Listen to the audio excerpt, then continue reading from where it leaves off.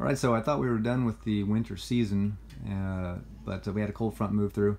Thought I'd do a video here on our tiny wood stove that we installed in our 2016 Keystone Montana fifth wheel camper. Uh, this stove is from tinywoodstove.com. It's the 4kW. Puts out approximately 20,000 to 30,000 BTUs as, uh, as they advertise. The, uh, the stove itself weighs approximately 100 pounds.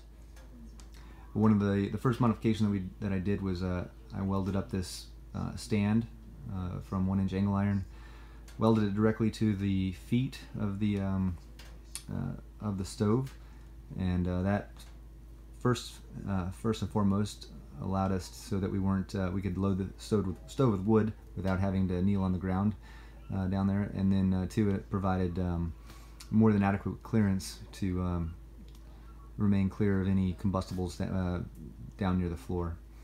Uh, I've got the electric space heater underneath because the uh, longest burn time that, we, that I was able to achieve was only about two to three hours from the stove. So throughout the nighttime, we would um, supplement with electric heat.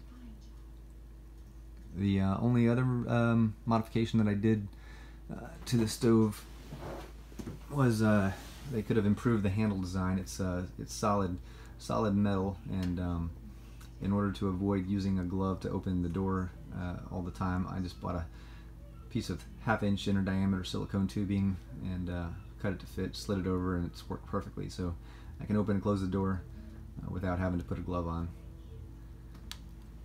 The two adjustments that it has, it has the um,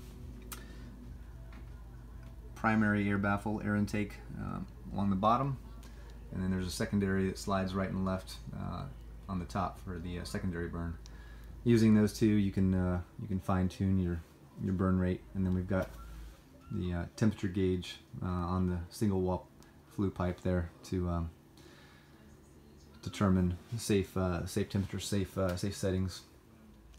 So for the heat shielding on the on the flue pipe itself, uh, it's four inch single wall pipe going up, and I took a six inch piece of single wall pipe, cut it more or less ripped it with a uh, angle uh, angle uh, grinder and uh, put some bolts zoom in there. So put just put some bolts for a standoff from the from that uh, flue pipe. And you can see going all the way up uh, and then there's the going into the double wall pipe and exiting the through the roof I used a heat gun throughout to make sure that, uh, or excuse me, uh, one of the uh, infrared guns to make sure that uh, there was no hot spots.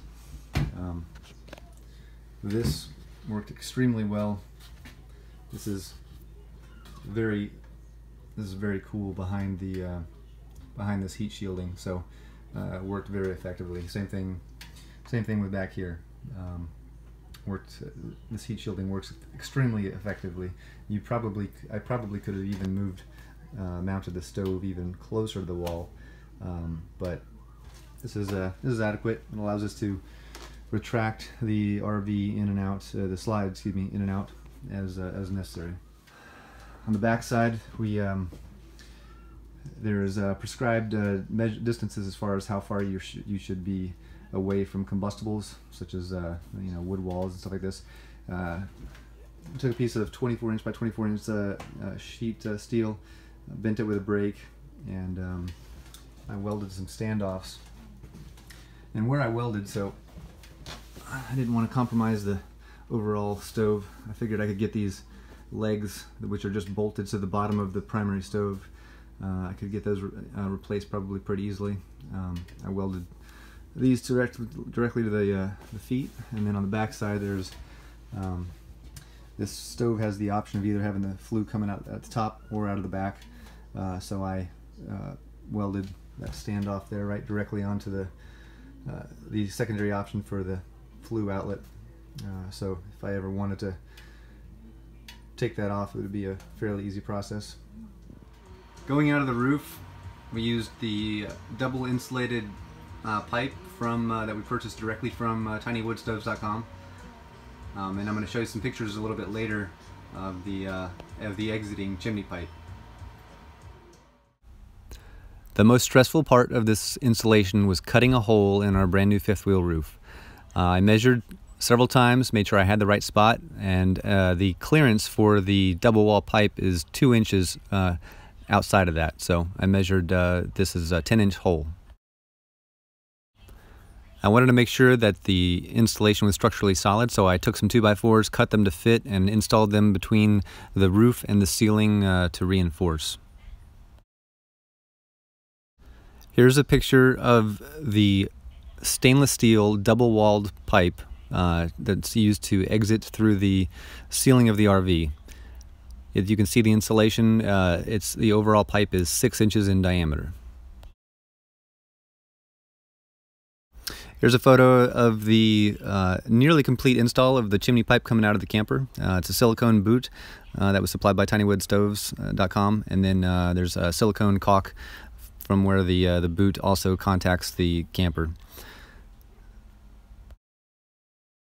For added insurance, I added some Eternabond uh, tape around around the seam of where the boot uh, contacted the camper.